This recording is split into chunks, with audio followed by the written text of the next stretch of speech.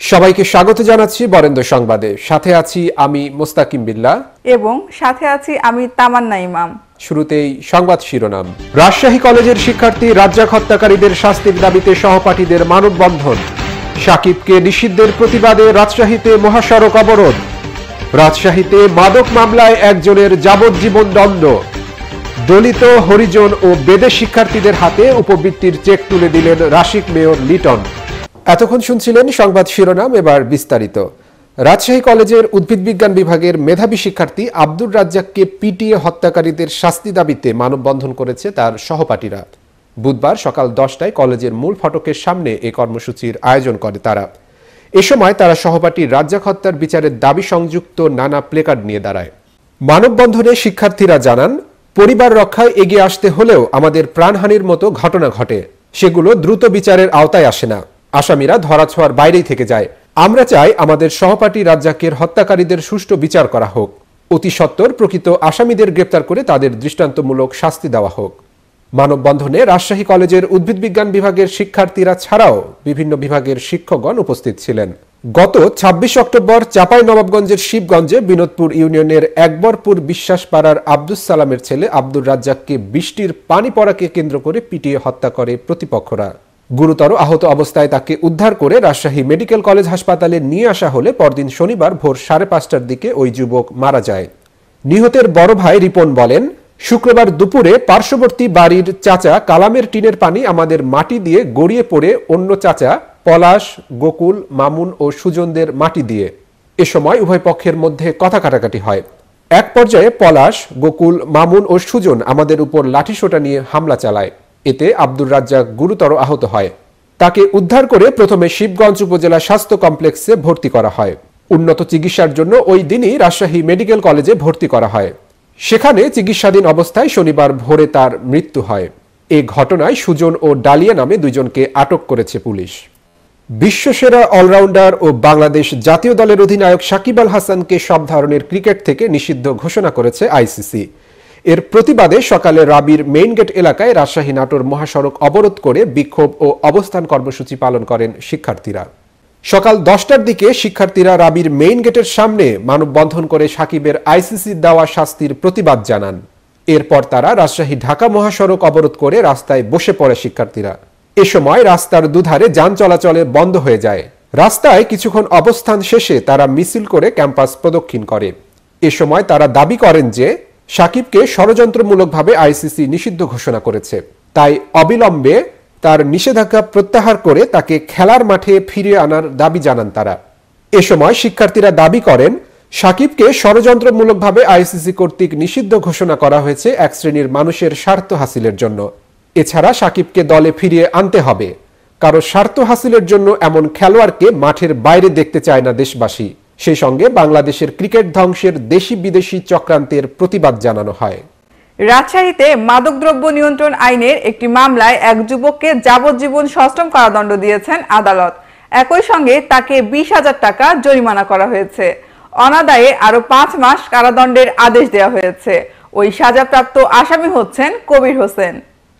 বুধবার দুপুরে রাজশাহীর বিশেষ জজ আদালত একের বিচারক মোসাম্মদ ইসমতারা এ রায় ঘোষণা করেন।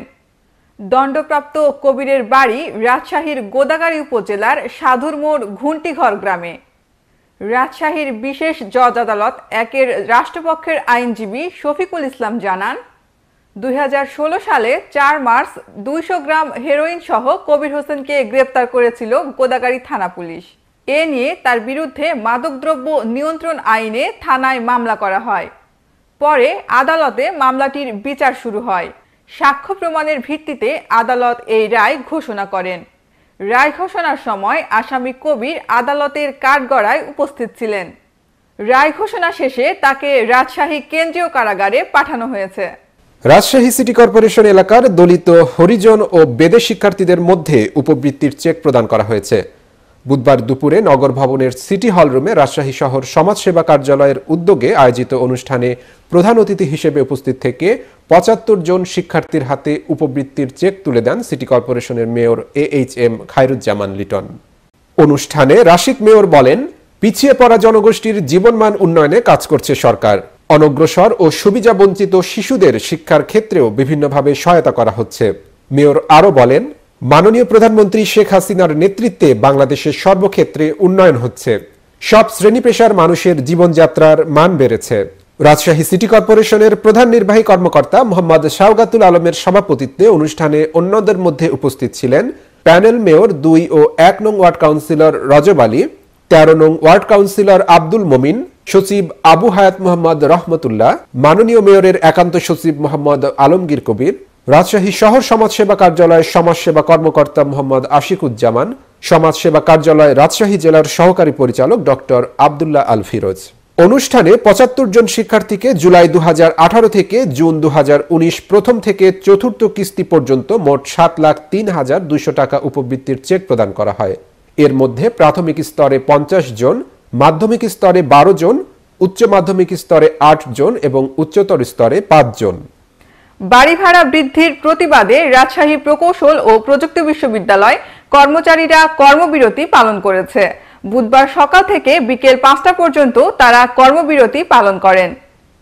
কর্মচারীরা বলেন যে স্মারক নং দুই এক চার আট পাঁচ তিন দুই সালের ডিসেম্বরের এগারো তারিখে অফিস আদেশ অনুযায়ী রুয়েট চার কোয়ার্টারের বাড়ি ভাড়া বৃদ্ধি করে বাড়ি ভাড়া করা হয়েছে, যা বর্তমানে কর্মচারীদের পক্ষে বহন করা অসম্ভব হয়ে পড়েছে।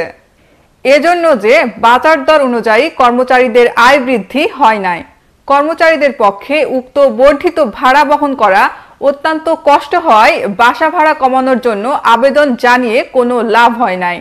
তাই আমরা কর্মবিরতি পালন করছি। বুধবার সকাল নয়টা হইতে দুপুর একটা পর্যন্ত এবং বিকেল তিনটা হইতে বিকেল পাঁচটা পর্যন্ত অত্র বিশ্ববিদ্যালয়ের সকল কর্মচারীরা এ কর্মবিরতিতে অংশ নেন। তাদের দাবি না মানলে পরবর্তীতে বৃহত্তর আন্দোলন কর্মসূচি দেয়া হবে। করে কর্মচারীর পূর্বে নিয়োগ হয়েছে, সেই নিয়োগ বাস্তবায়ন না করে আগামী পয়লা ডিসেম্বর মাননীয় মহামান্য রাষ্ট্রপতি আসার কথা আছেন। কিন্তু তার আগে উনি হঠাৎ করে পঁয়তাল্লিশ জন শিক্ষক এবং কর্মকর্তার সার্কুলার করেছেন। কিন্তু পূর্বের নিয়োগ কমপ্লিট না করে উনি হঠাৎ করে সার্কুলার করতে পারেন না। এবং আমাদের লোন সংক্রান্ত বিষয়ে আমরা যে দাবি দেওয়া দিয়েছি, নীতিমালা সংক্রান্ত বিষয়ে আমরা দাবি দেওয়া দিয়েছি, সেই দাবিগুলো যদি না মানা হয়, আমরা আগামী শনিবার থেকে আমাদের কর্মসূচি কর্মবিরতি লাগাতার চালু রাখব ইনশাল্লাহ কৃষিকে লাভজনক করার পাশাপাশি একে সম্মানজনক পেশাতে পরিণত করতে হবে। এটি করা গেলে তরুণরা এতে আকৃষ্ট হবে। অনেক মেধাবী তরুণ এগিয়ে আসলে পারিবারিক কৃষি তথা পুরো কৃষিখাত উপকৃত হবে। বুধবার কৃষি সম্প্রসারণ অধিদপ্তর রাজশাহীতে অনুষ্ঠিত পারিবারিক কৃষি সংকট ও সম্ভাবনা বিষয়ে বিভাগীয় মতবিনিময় সভায় বক্তারা এসব কথা বলেন। খাদ্য নিরাপত্তা, নেটওয়ার্ক, খানি এবং অ্যাকশন এইডের সহযোগিতায় এই সভার আয়োজন করে উন্নয়ন সংগঠন পরিবর্তন। সভায় বক্তব্য দেন কৃষি সম্প্রসারণ অধিদপ্তরের উপপরিচালক শামসুল হক, প্রশিক্ষণ কর্মকর্তা মঞ্জুরুল হক শ্রমিক লীগ জেলা সভাপতি রবিউল আলম বাবু, তৃণমূল পরিচালক জালাল উদ্দিন, বরেন্দ্র উন্নয়ন প্রতিষ্ঠার পরিচালক ফয়জুল্লাহ চৌধুরী এবং শিক্ষার্থী নাহিদ পারভিন। খাদ্য নিরাপত্তা নেটওয়ার্ক খানি পরিচালিত বাংলাদেশে পারিবারিক কৃষি সংকট ও সম্ভাবনা বিষয়ে প্রবন্ধ উপস্থাপন করেন পরিবর্তন পরিচালক রাশেদ রিপন। মূল আলোচনা উপস্থাপন করেন রাজশাহী কলেজের অর্থনীতি বিভাগের শিক্ষক মিজানুল ইসলাম। অনুষ্ঠানে বক্তারা পারিবারিক কৃষির বিকাশে উপযোগী পরিবেশ তৈরি করা কৃষি জমি সুরক্ষা ও কৃষি জমিতে কৃষকের প্রবেশাধিকার নিশ্চিত করার পরামর্শ দেন। কৃষিতে পরিবারের সকল সদস্যদের অংশগ্রহণকে নিশ্চিতকরণে কার্যকর পদক্ষেপ নিতে এবং কৃষি পরিবেশ সুরক্ষায় অগ্রণী ভূমিকা রাখার আহ্বান জানান। তারা পারিবারিক কৃষির ভিতকে মজবুত করতে জেন্ডার সমতা নিশ্চিত করা প্রয়োজন বলে জানান।